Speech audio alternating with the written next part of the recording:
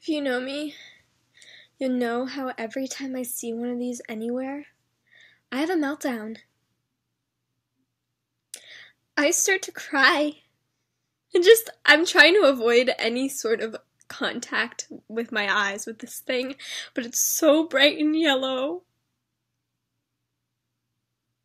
I can't look.